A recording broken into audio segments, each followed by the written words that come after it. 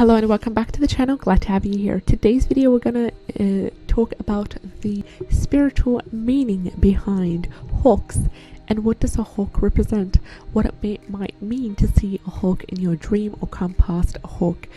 Hawks represent the visionary, the visionary energies, and I'm linking the exact uh, blog article that I'm reading from in the uh, learnreligions.com website, and the full URL will, be included in the description box below. So, hawks represent spiritual awakening, they represent inner purpose, intensity, and charisma.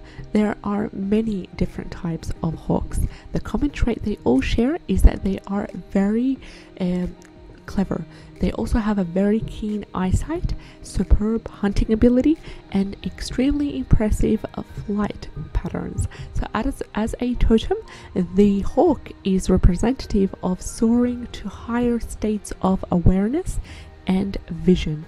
You can expect communication to open up more fully whenever a hawk visits. Hawk energy is highly charged and is not to be ignored. It can not be ignored. The hawk implies a higher calling that needs to be expressed. So, um, it's it's a wonderful bird that represents inner purpose, intensity, charisma, and spiritual awakening. Thank you so much for watching the video till the end. And if you enjoy videos such as these, we do them on a weekly basis, talking about the spiritual meaning behind different kinds of elements. Thank you so much for watching. I'll see you in the next video. Take care and have a great day.